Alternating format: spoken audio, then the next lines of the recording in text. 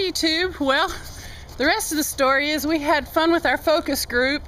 We chatted for, oh, it was supposed to be two hours. It was more like two and a half before we got out of there. They got a lot of questions and a lot of answers, and it was for Gettington.com. And when it was over, after I had just said I didn't like the company well enough to even favorite it on my computer, the guys from behind the mirror came out and shook our hands from Gettington.com and uh, gave us a neat little tote bag.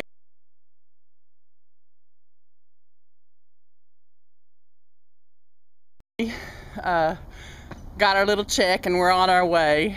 And uh, all in all, I'd do it again in a heartbeat. It's so much fun.